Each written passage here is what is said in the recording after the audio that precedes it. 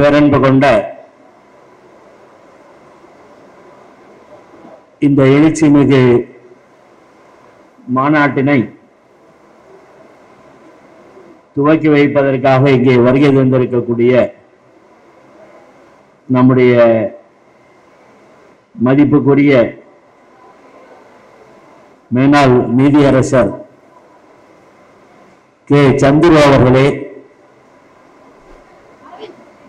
இங்கே வரவேற்புரையாற்ற வருகை தந்திருக்கக்கூடிய திரைப்பட இயக்குனர் நம்முடைய மரியாதைக்குரிய திரு ராஜமுருகன் அவர்களே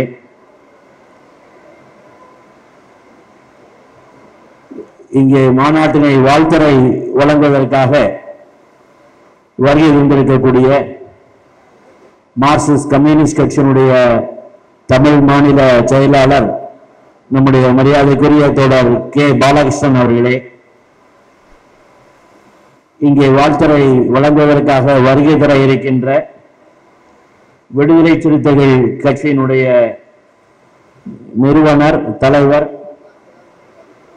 திரு. தொல் திருமாவளவன் அவர்களே தமிழ்நாடு தீண்டாங்க ஒழிப்பு முன்னனுடைய மாநில பொதுச் செயலாளர் மதிப்புக்குரிய தோழர் சாமுவேல் ராஜ் அவர்களே இங்கே அம்பேத்கர் கல்வி வேலைவாய்ப்பு பயிற்சி மையம் அறிக்கையை சமர்ப்பிக்க இருக்கின்ற மாநில செயலாளர் சுவாமிநாதன் அவர்களே அஞ்சலி உரை நிகழ்த்திய மதிப்புக்குரிய மாநில துணை பொதுச் செயலாளர் தோழர் வி கே சிவஞானம் அவர்களே இன்றைய அமர்வில் வாழ்த்துறை வழங்குவதற்காக வருகை தந்திருக்கக்கூடிய மூத்த மனித உரிமை காப்பாளர் மதிப்புக்குரிய ஹென்றி டிபைன் அவர்களே. அதே போல தமிழ் புலிகள் கட்சியினுடைய தலைவர் நாகை திருவள்ளுவன் அவர்களே வரவு செலவு அறிக்கை சமர்ப்பிக்க இருக்கின்ற செந்தில்குமார் அவர்களே மேடையிலே அமர்ந்திருக்கக்கூடிய பல்வேறு வர்க்க வெகுஜன அமைப்புகளுடைய தலைவர்களே திரளான முறையிலே இந்த மாநாட்டுக்கு குழுமை இருக்கக்கூடிய மதிப்புக்குரிய தோழர்களே நண்பர்களே சகோதர சகோதரிகளே அனைவருக்கும் முதல்ல வணக்கத்தையும் வாழ்த்துக்களையும் தெரிவித்துக் கொள்றேன். தமிழ்நாடு தீண்டாமை ஒழிப்பு முன்னணியினுடைய மூன்றாவது மாநில மாநாடு எழுச்சியோடும் கம்பீரத்தோடும் துவங்கி இருக்கின்றது தீண்டாமை ஒழிப்பு முன்னணியை பொறுத்தவரை ரெண்டாயிரத்தி ஏழு மே மாதம் துவங்கி ஏறத்தாழ பதினேழு பதிமூன்று ஆண்டுகள் சமூக நீதிக்கான ஜாதிய ஒடுக்குமுறைகளுக்கு எதிரான போராட்ட களத்தில் பிரதானமான பங்கு வகித்திருக்கிறது. துவக்கத்திலேயே நான் ஒன்றை சொல்ல விரும்புகிறேன். தமிழ்நாடு தீண்டாமை ஒழிப்பு முன்னணி நடத்தி இருக்கக்கூடிய அநேகமாக எல்லா போராட்டங்களும் வெற்றி அடைந்திருக்கின்றன என்பதை நான் குறிப்பிட்டு சொல்ல விரும்புகிறேன். நடத்தி நடத்தியிருந்த போராட்டத்துக்கு வெற்றி நடத்தி கொண்டிருக்கக்கூடிய போராட்டத்திற்கு வெற்றி காத்திருக்கிறது என்பதையும் நான் குறிப்பிட்டு சொல்ல விரும்புகிறேன். அதன் காரணமாக இன்றைக்கு தமிழ்நாட்டில் ஒரு மிகப்பெரிய தாக்கம் ஒரு மரியாதை தமிழ்நாடு தீண்டாமை ஒழிப்பு முன்னணிக்கு கிடைத்திருக்கிறது. குறிப்பாக ஒடுக்கப்பட்ட மக்கள் மத்தியில் ஜனநாயக இயக்கங்கள் மத்தியில் மனித உரிமை மனித நேயத்தில் அக்கறை இருக்கக்கூடிய தனிநபர்கள் மத்தியில் அறிஞர்கள் மத்தியில் சமூக மாற்றத்துக்காக போராடக்கூடிய கள போராளிகள் மத்தியில் ஒரு மிகப்பெரிய மரியாதை ஒரு மிகப்பெரிய அந்தஸ்து தமிழ்நாடு தீண்டாம் ஒழிப்பு முன்னணிக்கு கிடைத்திருக்கிறது என்பதை நான் குறிப்பிட்டு சொல்ல விரும்புகிறேன் தொடர்ந்து ரெண்டாயிரத்தி ஏழாம் ஆண்டு மே மாதம் துவக்கினோம். ஆனால் அதற்கு துவக்க விழா என்று ஒரு தனி நிகழ்ச்சி இல்லை. அதன் துவக்க விழா எதுவாக இருந்தது தெரியுமா? ரெண்டாயிரத்தி ஏழாம் ஆண்டு உத்தபுரத்தில் தீண்டாமை சுவர் தகர்க்கப்பட்டதை. அதுதான் தீண்டாமை உறுப்பினருடைய துவக்க விளைவாக இருந்தது என்பதை இங்கே நான் குறிப்பிட்டு சொல்ல விரும்புகிறேன். அந்த சுவர் தகர்ப்பு தமிழகத்தில் ஏற்படுத்தியிருக்கக்கூடிய தாக்கம் வலுவானது. ஏன் இந்தியா பூராவும் அதுக்கு ஒரு மிகப்பெரிய தாக்கமும் வரவேற்பும் கிடைத்தது. அதைத் தொடர்ந்து பல போராட்டங்கள் குறிப்பாக அருந்ததியர் மக்களுக்கான இடஒதுக்கீடு தலித்துகளிலும் தலித்துகளாக இருக்கக்கூடியவர்கள்.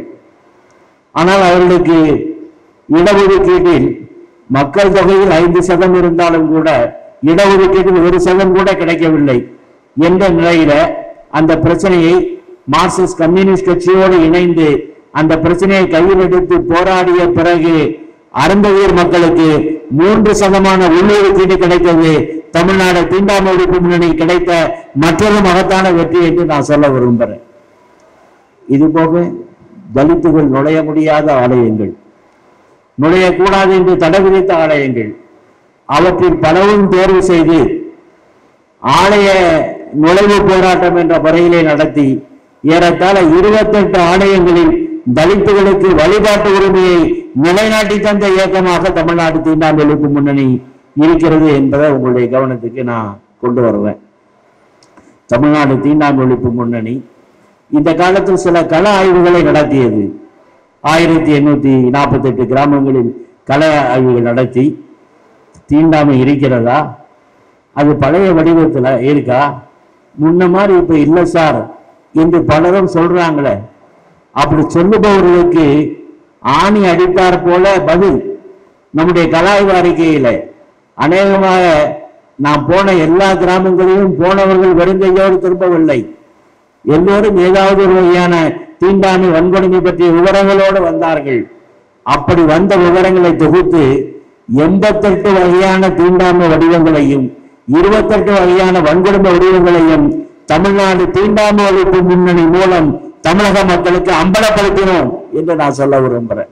இப்படி அம்பலப்படுத்தினதோடு நம்ம நிற்கலை அதில் சில பிரச்சனைகளை கையில் எடுத்துக்கொண்டு கலாய்வுக்கான போராட்டங்கள் கல ஆய்வு நடத்தி அதில் கிடைத்த பிரச்சனைகள் அடிப்படையில் நேரடி நடவடிக்கையில் போராட்டங்கள் என்று நாம் நடத்தினோம் அப்படி நடத்தின போராட்டத்தில் ஒன்று தான் உத்தப்புறம் ஆலய நுழைவு போராட்டங்கள் இது போன்று பல வடிவங்கள்.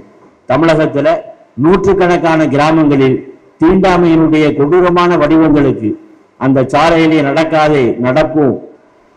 இந்த கோவிலிலே வழிபடாதே வழிபடுவோம். இந்த குளத்திலே குளிக்காதே குளிப்போம். செருப்பு போட்டு நடக்காதே நடப்போம்.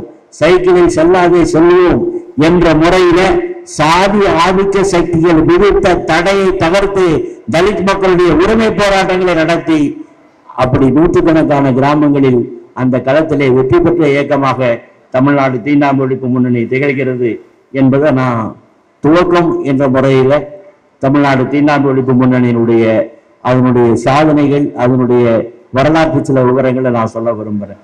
தோழர்களே நண்பர்களே தமிழ்நாடு தீண்டாமல் ஒழிப்பு இன்னொரு தாக்கம். பொதுவாக இன்றைக்கு சமூகத்தில் இருக்கக்கூடிய சாதிய ஏற்றத்தாழ்வுகள் காரணமாக ஒடுக்கப்படுபவர்கள் தங்கள் உரிமைகளை நிலைநாட்ட வேண்டும் என்றால் தாங்களே போராட வேண்டிய ஒரு சூழல். அதுதான் இன்றைக்கு பொதுவாக சமூக நீதி களத்திலே பரவலாக பார்க்க முடிகின்றது. ஆனா தமிழ்நாடு தீண்டாமை ஒழிப்பு முன்னணி சமீப ஆண்டுகளில் ஒரு புதிய அத்தியாயத்தை படைத்திருக்கிறது. தலித் மக்களுடைய உரிமை போராட்டமா? தலித் அல்லாத மக்களையும் பங்கெடுக்க வைப்போம் என்ற முறையிலே அதற்கான போராட்டங்கள் அதுக்கான இயக்கங்கள் தமிழ்நாடு தீண்டாமல் ஒழிப்பு முன்னணி நடத்தியது. தலித் மக்களுடைய உரிமைகளுக்காக நடைபெற்ற போராட்டங்களில் ஏராளமான போராட்டங்களில் தலித் அல்லாத மக்கள் கலந்து கொண்டார்கள். உதாரணத்துக்கு சொல்வது என்றால் உத்தப்படத்திலே பேரையூர்ல நடைபெற்ற ஆர்ப்பாட்டத்தில் இரண்டாயிரம் பேர் கலந்து கொண்டார்கள். அதில் ஆயிரம் பேர் தலித்துகள் என்றால் ஆயிரம் பேர் அந்த மதுரை மண்ணை சார்ந்த செங்கடு இயக்க மரபர் குடும்ப புதல்வர்கள் என்பதை இங்கே நான் பெருமையோடு சொல்ல விரும்புகிறேன். இப்படி நிறைய உதாரணங்களை சொல்ல முடியும். இதன் காரணமாகத்தான் தமிழ்நாடு தீண்டாமை ஒழிப்பு முன்னணிக்கு அது நடத்தக்கூடிய போராட்டங்களுக்கு ஒரு ஜனநாயக வடிவம் கிடைத்தது. பொதுவா சில கிராமங்களுக்கு தலித் அமைப்புகளுடைய தலைவர்கள் போய் பிரச்சனைகளை கையில் எடுத்துட்டா வந்துட்டாங்கப்பா அப்படின்லாம் சொல்லுவாங்க. நல்லா இருக்கிற ஊரை கெடுக்க வந்துட்டாங்க அப்படின்னு. தலித்துகளுடைய உரிமைகளை கேட்டா அமைதி கட்டு போகுமா? அப்படிலாம் சொல்லுவாங்க. ஆனா தமிழ்நாடு தீண்டாமல் ஒழிப்பு முன்னணி இவ்வளவு கள ஆய்வு நடத்தி இவ்வளவு தலையீடுகள் செய்து இத்தனை போராட்டங்கள் நடத்தி இருக்கிறோம் தலித் மக்களை ஒன்று திரட்டி இருக்கிறோம் ஆனால் அப்படி நடத்தியிருக்கக்கூடிய போராட்டங்கள் நடந்திருக்கக்கூடிய கிராமங்கள் எதிலும் ஜாதிய மோதல்கள் நடக்கல. கலவர சூழல் இல்லை. அதுக்கு என்ன காரணம்? அங்கே தலித் மக்களுடைய உரிமைகளை கேட்பவர்களாக தலித் மக்கள் மட்டும் இருக்க மாட்டார்கள். தலித் அல்லாத உழைப்பாளி மக்கள் செங்கோடு இயக்க புதல்வர்கள் இணைந்து செயல்பட்ட காரணத்தினால்தான் அந்த துவக்கம் இருந்தது. அதனாலதான் விடுதலை சிறுத்தைகள் இயக்கத்தினுடைய மிக முக்கியமான தலைவர் ரவிக்குமார் அவர்கள் ஒரு மேடையிலே சொன்னார்கள். உத்தப்புறம் சுவர் உடைப்பை பார்த்ததுக்கு பிறகு அவர் சொன்னாரு நாங்களா போயிருந்தா அத ஜாதி பிரச்சனைன்னு சொல்லியிருப்பாங்க. ஆனால் தமிழ்நாடு தீண்டாமல் ஒழிப்பு முன்னணி இந்த பிரச்சனையில் தலையிட்டதால் இந்த போராட்டத்திற்கு ஒரு ஜனநாயக வடிவம் கிடைத்திருக்கிறது என்ற முறையிலே அவர் குறிப்பிட்டார். ஆக இப்படியான முறையிலே செயல்பட்டு ஒரு புதிய தாக்கத்தை சமூக நீதிக்கான தளத்திலே உருவாக்கிய இயக்கம் தீண்டாமல் ஒழிப்பு முன்னணி என்பதை நான் துவக்கத்தில் பதிவு செய்ய விரும்புகிறேன் இன்னொன்று தீண்டாமை ஒழிப்பு முன்னணி என்பது சாதி ஒழிப்பில் இல்லை ஒரு இயக்கம். தீண்டாமை ஒழிப்பு போராட்டங்களையே சாதி ஒழிப்பு போராட்டத்தின் பிரிக்க முடியாத பகுதியாக தமிழ்நாடு தீண்டாமை ஒழிப்பு முன்னணி நடத்தி கொண்டிருக்கிறது. எனவே பேர் பேர் வந்து உடனடி லட்சியத்தை நிறைவேற்றக்கூடிய பொருள் தான் அந்த பேர்ல இருக்கு. ஆனா இதனுடைய பாதை சாதி ஒழிப்பு பாதை. எவ்வளவு காலம் இந்த பிரச்சனை? இந்தியாவிலே சாதி ஒழியுமா ஒழியாதா? சாதி ஒழியாதா என்ற இயக்கத்தோடு இந்தியாவில் இருக்கக்கூடிய ஜனநாயக செய்திகள் இன்றைக்கு இயங்கிக் கொண்டிருக்கக்கூடிய காலம். ஏறத்தாழ மூவாயிரம் ஆண்டு கால நிகழ்ச்சி நிரலாக ஜாதி ஒழிப்பு என்ற அஜெண்டா இருந்து கொண்டிருக்கிறது. ஏன் இந்த ஜாதியை ஒழிக்க முடியவில்லை? ஒழித்ததாக யாராவது பெருமைப்பட்டுக் கொள்ள முடியுமா? முடியாது. ஆனா இந்த மூவாயிரம் வருஷத்துல ஏராளமான சாதி ஒழிப்பு போராட்டங்கள் இந்தியாவில் நடந்திருக்கு. உத்தமமான நோக்கத்தோடு சாதி ஒழிப்பிலே தீவிர அக்கறையோடு ஏராளமானவர் போராடி இருக்கக்கூடிய மூவாயிரம் ஆண்டு வரலாறு தமிழகத்துக்கு உண்டு என்று நான் சொல்ல விரும்ப விரும்புகிறேன். அந்த காலத்தில் புத்தர் மகாவீரர் துவங்கி பிற்காலத்தில் சித்தர்கள் தொடர்ந்து ராமானுஜர் வள்ளலாறு மாமேதி அம்பேத்கர் பெரியார் நிறைய பேரை சொல்ல முடியும். ஏராளமான சமூக நீதி போராளிகள் சாதி ஒழிப்பிற்காக மிக தீவிரமான போராட்டங்கள் நடத்தி இருக்கிறார்கள். அவருடைய நோக்கத்தையும் அவருடைய போராட்டத்தையும் யாரும் சந்தேகிக்க முடியாது. அத்தகைய போராட்டங்கள் பெரும் தாக்கத்தை இந்தியாவிலே ஏற்படுத்தியது. இன்றைக்கு ஒடுக்கப்பட்ட மக்களுக்கு பல உரிமைகளையும் பெற்று தந்தது. ஆனாலும் கூட சாதி ஒழியவில்லை என்பது மிக முக்கியமான அம்சம். அதுக்கு என்ன காரணம்? இப்போ நோய் நாடி நோய் முதல் நாடு என்று சொல்லுவார்கள். இந்த சாதியின் வேர்கள் எங்கே இருக்கிறது? நான் தொட்டு தொட்டு காட்ட விரும்புகிறேன். இந்தியாவில் இருக்கக்கூடிய இடதுசாரி இயக்க அறிஞர்கள் இது குறித்து ஏராளமான ஆய்வுகள் நடத்தி இருக்கிறார்கள். நமக்கு தெரிய ஆதாரபூர்வமாக வரலாற்று ஆதாரங்களை மேற்கோள் காட்டி இந்தியாவுடைய சாதியின் தோற்றம் குறித்து ஏராளமான விளக்கங்களை இடதுசாரி அறிஞர்கள் கொடுத்திருக்கிறார்கள். சாதியின் துவக்கம் என்பது தனித்து அல்ல. சாதியின் துவக்கம் வர்க்கமாக இருந்தது. மிகப்பெரிய சமூக ஆய்வாளர் இடதுசாரி இயக்கத்தினுடைய அறிஞர் இஎம்எஸ் சொல்றாரு. கிரேக்க நாடுகள்ல மனிதகுல வரலாற்றுல முதல் தடவையாக ஆண்டான் அடிமை என்ற முறையில வர்க்க சமுதாயம் உருவாயிற்று. ஆனால் இந்தியாவில் தான் இந்தியாவில் தான் அந்த வர்க்க சமுதாயம் என்பதற்கு பதிலாக வர்ண சமுதாயம் ஆரியர் ஆரியர் அல்லாதவர் என்ற சமுதாயம் உருவாயிற்று. அதுக்கு பிறகு வேலை பிரிவினைகள் காரணமாக ஏராளமான வர்ணம் உள்வர்ணம் ஆயிரம் உற்சாதிகள் என்ற முறையில பல்லாயிரக்கணக்கான சாதிகள் உள்ள சமூக அமைப்பாக பார்க்கிறோம். அப்படின்னா என்ன அர்த்தம்? இங்கே வர்க்கமே சாதியாக இருந்தது. சாதியும் வர்க்கமும் பின்னி பிணைந்த ஒரு சமூக அமைப்பாக இந்தியா இருக்கிறது இன்றைக்கும். அதான் யதார்த்தமான நிலைமை. எனவே இந்தியாவில் சாதி ஒடுக்குமுறைக்கு எதிரான போராட்டம் என்பது அனைத்து விதமான ஒடுக்குமுறைகளுக்கும் எதிரான வர்க்க போராட்டத்தின் பிரிக்க முடியாத பகுதியாக இருக்க வேண்டியிருக்கு. அப்ப இது சமூக சீர்திருத்த இயக்கங்கள் பயனுள்ள பல போராட்டங்களை நடத்தினாலும் கூட பொருளியல் ஒடுக்குமுறை பொருளாதார ஒடுக்குமுறைக்கு எதிரான குரலை போதுமானவர்கள் அளவுக்கு பதிவு செய்யாதது சமூக சீர்திருத்த இயக்கத்தின் பலவீனமாக இருந்தது. மறுபுறம் வர்க்க வெகுஜன அமைப்புகள் பொருளாதார ஒடுக்குமுறைக்கு எதிராக ஏராளமான போராட்டங்களை நடத்தினார்கள் நடத்தி இருக்கிறார்கள் வரலாறு இருக்கிறது. ஆனாலும் அவர்களுக்கு சாதிய ஒடுக்குமுறை சம்பந்தமான பிரச்சனையை போதுமான அழுத்தத்தோடு அவர்கள் எடுத்துக்கொள்ளவில்லை. எனவேதான் பிடிஆர் போன்ற பிடி ரணதீவை போன்ற பிரபலமான மார்க்சிய அறிஞர்கள் சொன்னார்கள் இரண்டுக்கும் இணைப்பு இல்லாத காரணத்தினால இரண்டும் போதுமான அளவுக்கு வெற்றி பெற முடியாத சூழல் இந்தியாவில் ஏற்பட்டது என்று. ஆனால் இதை புரிந்து கொண்டதுக்கு பிறகு நிலைமையிலே ஒரு மாற்றத்தை ஏற்படுத்த வேண்டாமா?